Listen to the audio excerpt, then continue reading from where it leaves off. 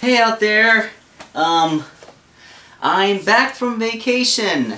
If I look a little bit off, it's because I sort of got sunburned on my face and then swam into the edge of a pool. So, if it looks like somebody punched me in the face, know that nobody punched me in the face. I just sort of swam into a wall, which is um, less confrontational, but not exactly more dignified.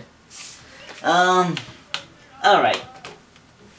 So, um, I, get, I got back, and of course the first thing I decided to do is go over my tape with all the recorded episodes of Sonic Boom, and I will be making them in order.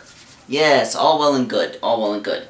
So, um, this was actually the same episode, um, Blue with Envy, that I caught on YouTube a few weeks back for my, um, out-of-sequence vlogs. So, um, this one is, um, uh, it's episode 28, of course, um, Blue with Envy. So instead of talking about the episode again, I figured I would elaborate on something.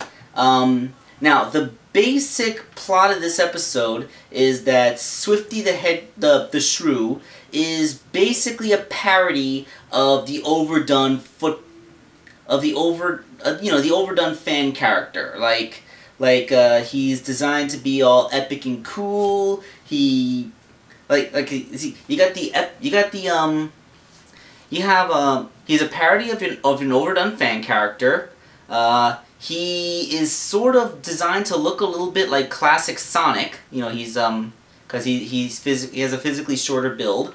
Um, and it's also a knock at the Disney Corporation because um, you know Eggman tries to set up his giant theme park and he even puts a statue of him holding the Shrew's hand, which is supposed to look like the statue of Walt Disney holding hands with Mickey Mouse that's erected in Disneyland. So, you know, he's like sort of a huge parody of all these things.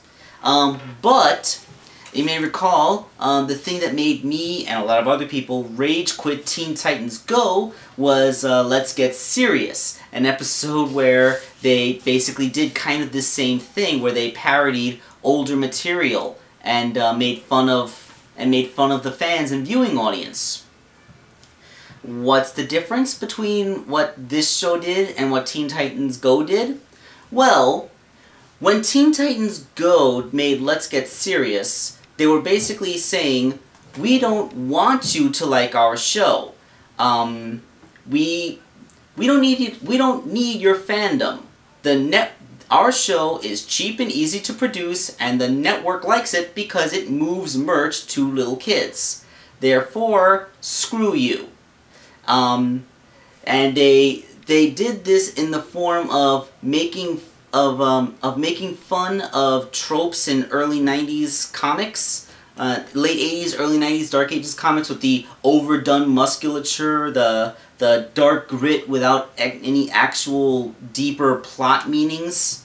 Um, so yeah, they were basically doing that kind of stuff, but um, the thing is, that was a straw man because the, the, the people who were rejecting them weren't rejecting them based on the on the lack of the serious nature of the older comics of the older com yeah it was because it wasn't you know the people who had been complaining had been fans of the cartoon series that had preceded it. In fact that very episode featured a cameo from young justice characters so they had to know. And the cartoon series going all the way back to Batman the Animated Series in 1993, were never ever like what they were depicted in the in in that serious business episode. So they're actually so that that's the whole thing. They're they're straw manning saying the older cartoons were a way that they never actually were, so that they could say that their cartoon is better than that by comparison.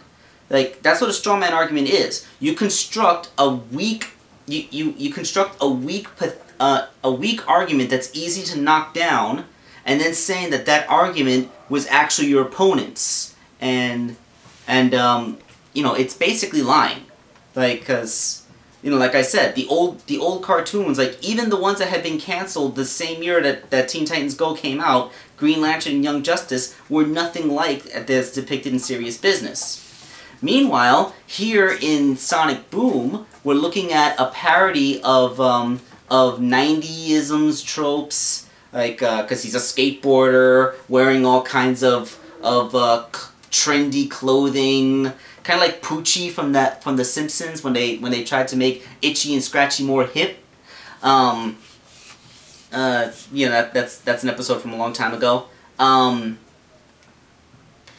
so and uh, and you know like like uh, it's basically the physical embodiment of rocket power. Is that's the best way I could say. If any of you know what rocket power is, rocket power was a Nicktoon made in like 1999 uh, with all with basically focus grouped 90isms, and it uh, it's a show that was okay in its own time, but textbook case of one not aging well. But basically, yeah, like, uh, you take, like, the 90s ima imagination of Sonic when he was, uh, like, I have old shirts from when I was a little kid that has Sonic's face that says, dude with a tood on them. Like, like, that, that was Sonic's thing. He was supposed to be all edgy and anti-authoritarian and hip and cool. And, um, well, the character had the good sense to evolve. Like, if you look at Sonic Boom, this interpretation of Sonic is a little bit of a dork. Like, like he couldn't come up with a with a trendy catchphrase, and when he finally got some success at the end, he he kind of tried to milk it to the point where it sound where where where it stopped being cool.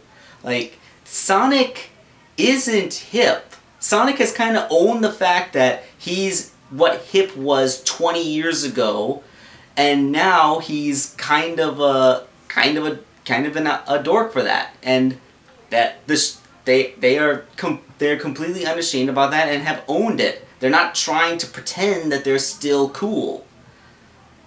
And of course, besides that, he's also evolved and does other stuff, which is, you know, okay. So yeah, that that's basically why I like this kind of parody because it's also self it's also self-referential parody. Like like they're taking out the the massive Disney corporation like um, I'm gonna make a theme park which is gonna have overpriced merchandise and bad food but you'll all love it because of the shrew and um, you're gonna you're and um, you know it's it, it, it's it's this is how you do a proper parody is what I'm trying to get at Alright, so enough about an episode that I've already talked about. Um, I'm going to watch the next episode in the sequence now, and uh, we'll do a vlog of that one.